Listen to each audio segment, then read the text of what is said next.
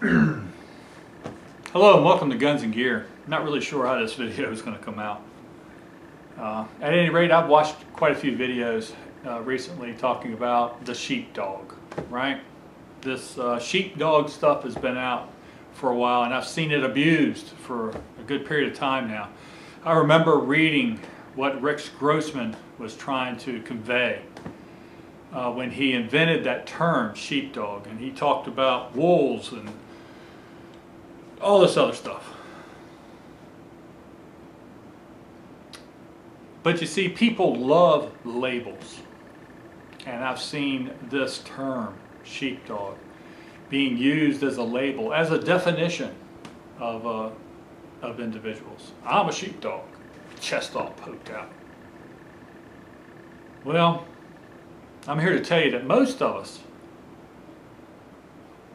are not sheepdogs. Okay. Now I'm not going to get into what Russ Grossman was trying to define. I'm not going to get into how I have seen the term abused, especially here on YouTube in recent years. I'm going to get into a little bit of different thing about individuals and what you can learn about yourself in your own life experiences. I've mentioned before that uh, there for a while, like 12 years or so, 13 years, whatever it was, I was a bouncer in bars, clubs around here. And I learned a few things about myself in that.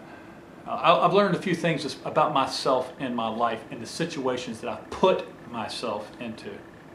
Okay? And uh, looking back on that, uh, it's stupid. Stupid what I've done. At any rate. I remember sitting in a bar that I used to bounce in. I wasn't bouncing at that particular time, um, but it was a bar that I often went to. I was having a beer after work. It was hot weather. I just wanted to get a beer after work. While I was sitting there, there was a group of folks over playing pool, and pool tables is always, uh, always an area where, where a fight can break out at any moment. And one did. And this one guy was just he, he was just beating the crap out of this other fellow. And uh, I went over there and broke it up. And the guy that was doing the beating, he lurched away from me. He said, you don't know who you're messing with. And I went, well, you're right. But you're, you're on your way out of here. And he was with a couple other guys, and they, they came up off their bar, bar stools. And I figured that I was going to have a pretty good fight to deal with.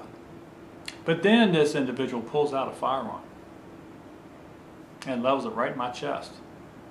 See, he was a police officer. He was a detective for one of the local police departments in this area. And I didn't I did not know that at the time.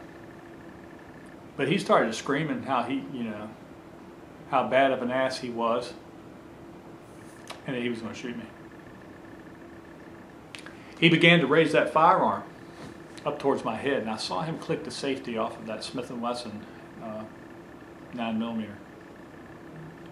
And the next thing that I know, I had his gun, and I was beating the hell out of him with it until his two buddies broke us up and drug him out of there. That's when I found out that he was a police officer. They asked me to return his firearm since it was a uh, department issue. I refused and only relinquished it to his lieutenant a few days later.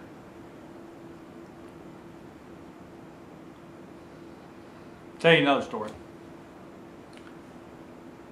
Me and my best friend were sitting in a Denny's one night. And uh, when I say night, it was actually morning. It was like 3 o'clock in the morning. He used to bounce at a different place, and I bounced at another place. And we kind of hooked up afterwards to get something to eat, so we're talking 3.30, 4 o'clock in the morning. And uh, being a weeknight, there was a, I mean a weekend night, there was a lot of folks in there eating, even at that early hour. And we had kind of chuckled uh, and noticed that this couple that was kind of sitting over from us, uh, the booths were kind of in an L they were just screaming at each other, and we kind of chuckled at them a little bit. Well, while we were enjoying our food, as much as you can enjoy Denny's food at 3.30, 4 o'clock in the morning. The guy had reached over, grabbed the girl by the hair, and started pounding her face into the table. Next thing you know, I found myself over there and I had him by the head and I was pounding his face into the table. I drug him out of there and uh, called the police, had him arrested. And as it turns out, I had, uh, I had beat him pretty severely.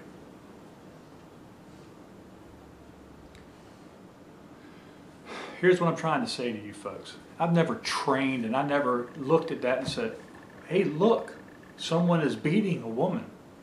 Let me go intervene. It happened. And I did.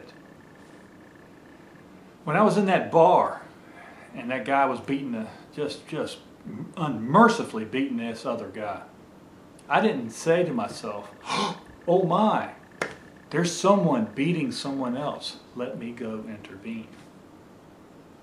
I just did.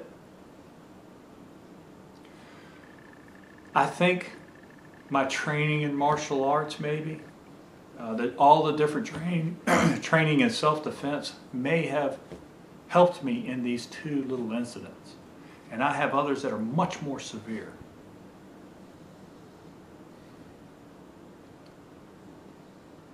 But who you are is who you are. And when you learn who you are, then you have to learn with your training how to best apply that. I don't know if I'm going to run towards any gunfire. I would hope, like Yankee Marshal said, that I would have the, the sense about me to make sure I get my family to safety. this bragging and chest beating stuff about being sheepdogs or whatever. It just needs to stop. If you need a label to feel good about yourself, then when you look into that mirror, it's not a sheepdog you're looking at. It's a sheep. Understand that. Train to better yourself. Know yourself. All right. I know a lot of people are going to see this video very negatively. It was not my purpose, but it is what it is. Thank you for watching my videos. I certainly appreciate it. And remember to shoot straight on the range and in life. Thanks.